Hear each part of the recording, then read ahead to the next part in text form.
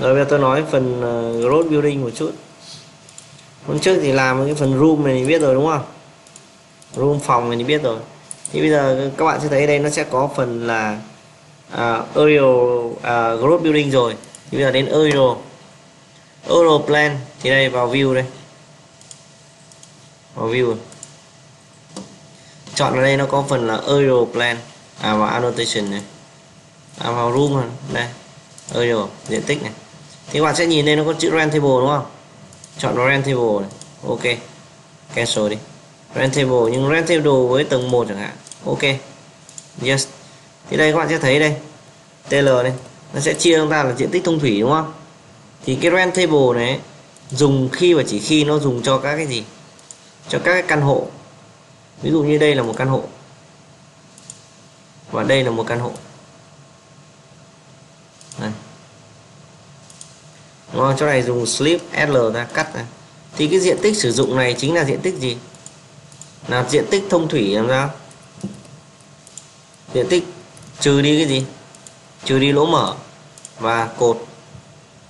Hiểu không? Cái diện tích này nó theo cách tính của nó. Các bạn sẽ phải hiểu.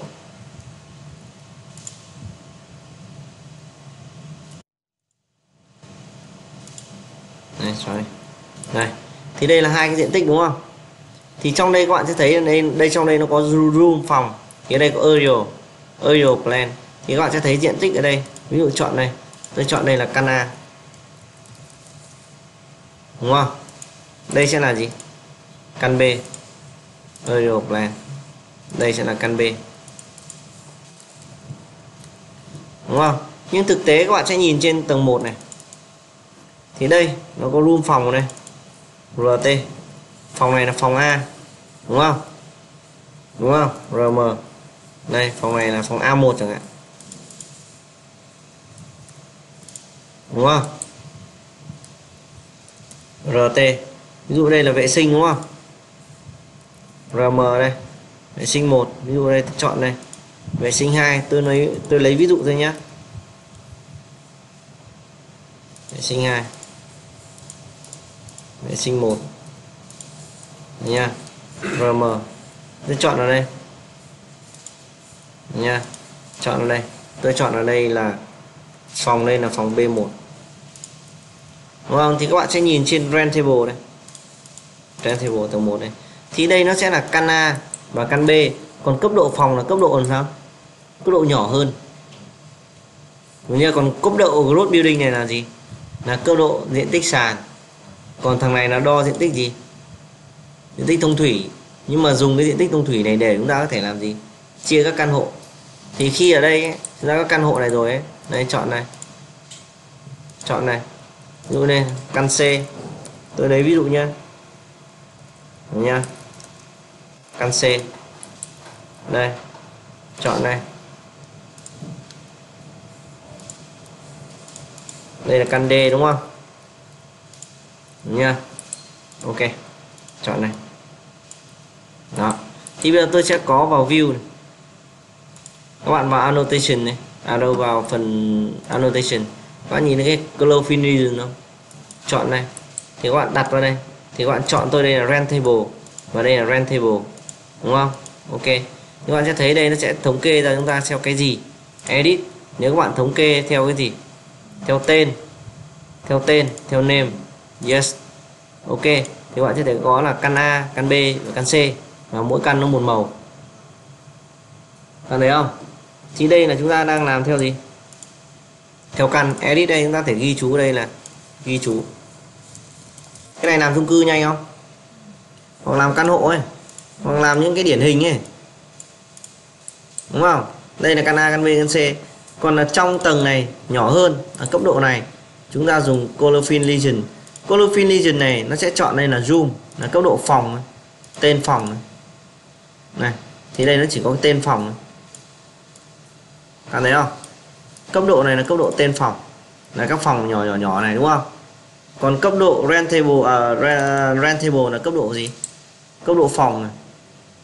Còn growth building này nó sẽ là gì rồi? Cấp độ tầng này. hiểu không? Cái này nó chia theo tầng luôn này. Cái này ví dụ như vào Colorfin Legion chọn ra này. Growth building này growth building ok mình sẽ chọn nó theo gì? Này. Theo phân khu, theo tên chẳng hạn. Theo block A, block B, block C chẳng hạn. Này. Nó đều tên là gì? Nhà A. Nhà B. Nhà C. Đấy. Thấy không? Cái này này. Cái này nó thống kê được diện tích đấy. Nhà A, nhà B, nhà C này thống kê được diện tích đấy đúng không? Thì cái trên tổng mặt bằng này một là mình ký hiệu kiểu này xong mình kèm theo cái bảng ghi chú à bảng thống kê diện tích. Là ok. Là diện tích xây dựng này. Xong automatic hết mà. Xong tiếp tục tôi làm thêm một số thuật toán nữa thì tôi cho automatic cái bảng đấy nhưng vấn đề là mình sẽ nhiều bảng hơn so với cái bảng kia nó gộp lại. Bảng này của mình là nó sẽ làm sao? Nó tính chi tiết đi này. Bây giờ đến thống kê diện tích nhà A, nhà B nhà C đúng không? Đây là diện tích này là diện tích gì thôi? Diện tích xây dựng. Thì tính tổng các diện tích xây dựng này trên tổng diện tích khu đất này chia nhau với ra gì? Là mật độ. Đúng không? Thì đây mình có diện tích mình cũng, cũng thống kê được thằng này đúng không? Đấy thì vấn đề bây giờ mình thống kê à, vào view đây. Vào schedule đây. Chọn đây. Còn tôi chọn ở đây là gì? Là growth building. Nó có phần growth building luôn đây này growth building rentable riêng luôn. Đấy nha growth building diện tích đây diện tích này kiểu này à, level này tên tầng này số thứ tự này.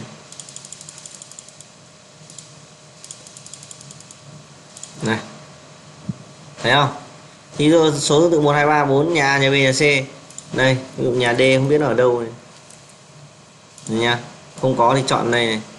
Highlight model ok xem nó ở chỗ nào? Này.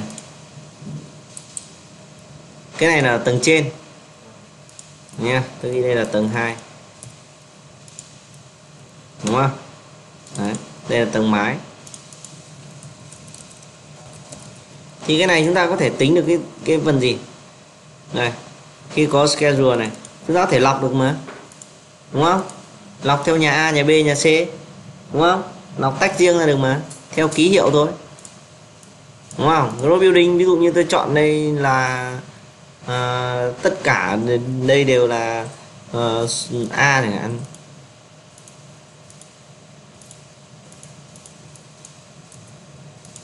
à không cái group building không thay đổi cái này ẩn đi. Hai column. Đây, diện tích đây.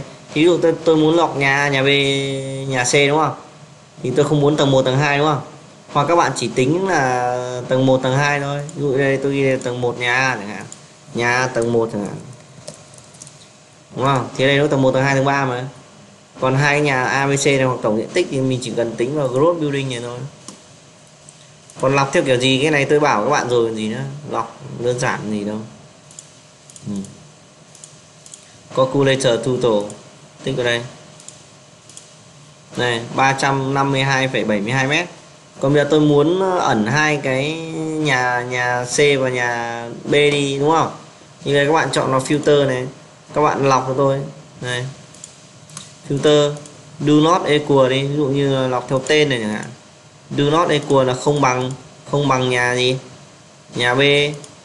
Và do not equal tên này, do not equal là không bằng nhà gì? Nhà C. Ok, thì nó chỉ có nhà 1 2 3 thôi thì đây là diện tích của cái cái tòa chính ấy. Hiểu không? Mình có nhiều cách lọc mà, đúng không? Ở đây nó có nhiều, rất nhiều cách lọc. Chọn này nhá, các bạn nhìn này. Này equal là bằng bằng cái gì? Do not equal lớn hơn hoặc bằng, nhỏ hơn hoặc bằng. Đấy nha ký hiệu, chữ cái đầu. Cuối end with này. Chữ cái cuối cùng này nhiều lắm. Nha lọc hết cái đống đấy thì đau hết cái đầu rồi. Thường chưa đến cấp tôi dùng cũng lắm đến cấp thứ hai thứ ba. Chưa bao dùng dùng đến cấp 4 năm rồi. cái bảng này nó ra này. Dùng đến đây là hết không phải nghĩ cái khác. Nhiều quá khó quản lý. Mọi người biết nhìn thấy bảng thống kê đúng không? Đây, tổng thể đây thì cái bảng thống kê đây. Gold Building này, đặt ra đây này.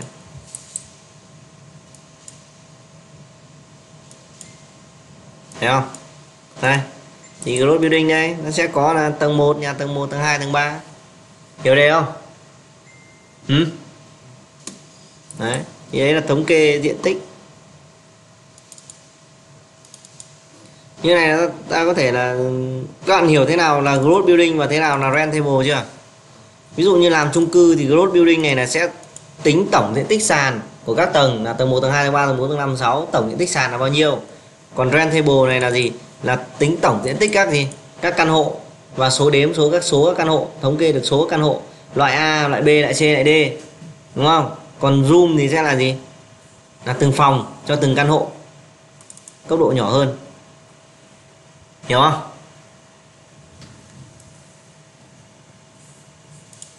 Ok